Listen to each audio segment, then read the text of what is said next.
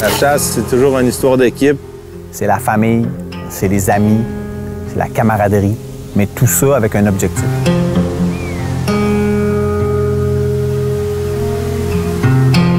Le secteur de chasse qu'on a ici à Dunière, c'est un secteur immense. C'est un territoire de rêve pour un chasseur d'orignal, des bûchers partout, de la nourriture partout, des traces partout.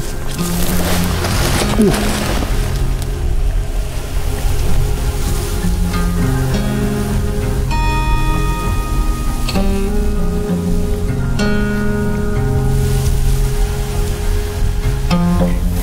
ist uns sein komplett mal.